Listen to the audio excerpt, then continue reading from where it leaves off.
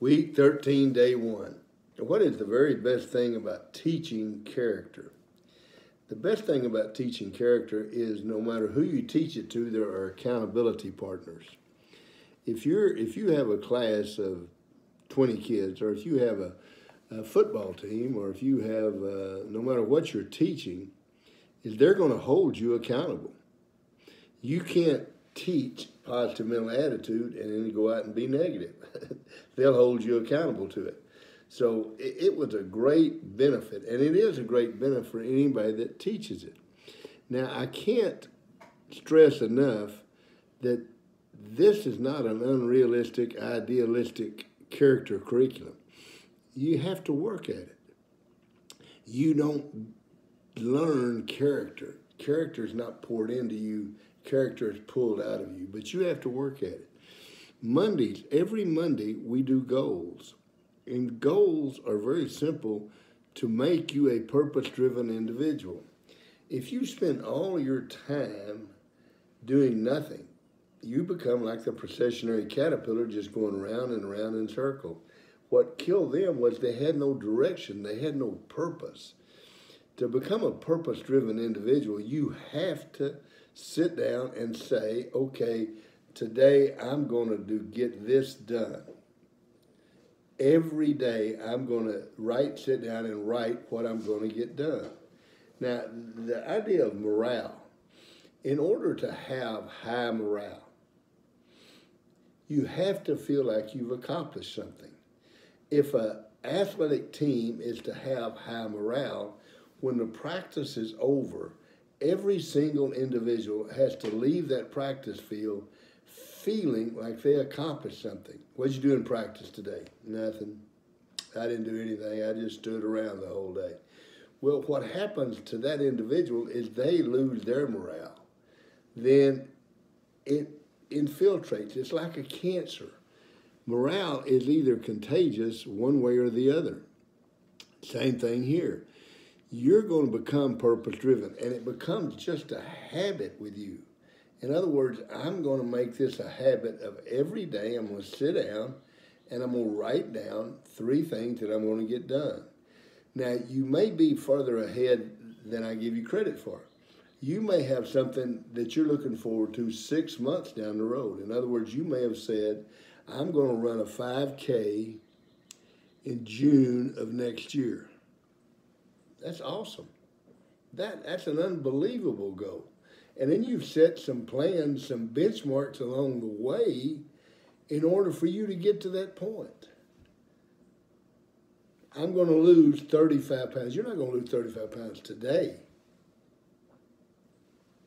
If you're going to lose 35 pounds, you have to set a date in the future. And you go one day at a time. Maybe I lose a pound today or maybe I lose a pound in the next three days. The slower you take it off, the slower it's going to come back on. The quicker you take it off, the quicker it comes back on. Believe me, I can attest to that from uh, 70 years of trying to lose weight. The purpose driven individual is going to sit down and write down what they're going to get done today. Now, the second uh, character trait that we discussed or that we were trying to develop is one called commitment. And there are so many people today that are committed to nothing. Well, commitment seemly, seem, simply means I'm going to make a plan. I'm not going to just write down a goal. If all I do is write the goal down, that's a dream. You're a dreamer. it doesn't mean you're going to accomplish anything if you put a plan with it, I mean a detailed plan, then you're going to get there. If you're going to go from five from the couch to 5K, as one individual told me they were going to do, then they're going to go out each day and they're going to jog three minutes, and then they're going to walk three minutes, and then they're going to jog, and then next week they're going to jog three and a half minutes. They're going to have a plan to get to that point that they can run a 5K without walking. And, it's a plan. There's apps on your phone, uh, Couch to 5K. You can get that done. It's just a matter of being committed to it. Now, the third part of the goal setting and the purpose driven is responsibility. How do you become a more responsible person? Well, responsibility and accountability is the same thing. Somebody's going to hold you accountable. If you say that I'm going to I'm going to run a 5K next June, and you tell everybody that's going to help you that, then they'll work with you. But you have to be willing to get it done and to have a plan to get it done. That's purpose driven.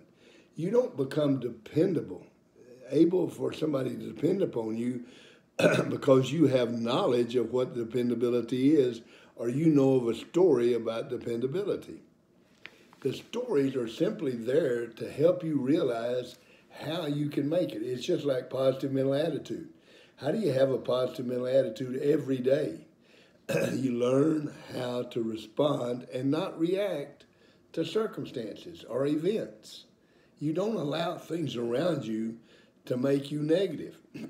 You learn to respond to those circumstances and events.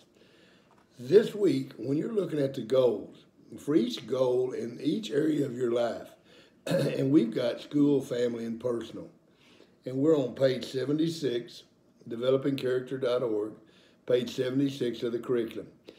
That doesn't mean that you have to write a, a goal for school. You can put a line through school and write something else there, whatever it might be. Weight loss, 5K, conditioning, uh, strength. It, it doesn't matter what it is. It's simply the idea that you're going to have something. Now, in school, if you had a goal for school, I'm going to get eight homework assignments turned in this week. Then there's a Monday, Tuesday, Wednesday, Thursday, Friday, Saturday, and Sunday. Give yourself a plus or a minus. Did you do it? On family, maybe you're going to help your mom do dishes. Maybe you're going to make your room this week. Maybe you're going to spend an hour with your family. Put the cell phone up and spend an hour with your family. Whatever it might be, Give yourself a plus or a minus if you get it done. Be responsible. The quality this week is learner, and the definition is the gaining of knowledge. If you're going to be an exceptional learner, you are a learner for lifetime. It's not just going to school, you become a learner for life. I've told this story before, and it's one of those great stories. You know, as the man told me, the reason that uh, responsibility is such a difficult quality for young people to accept today is they don't see any role models accepting responsibility. The politicians, it's not our fault, it's the other party, that's their fault.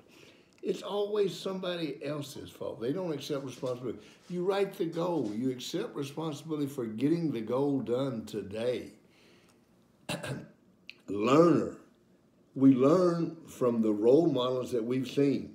As I said before, I, I, the first time I ever spoke at a football clinic, the man sitting on the front row was Hayden Fry.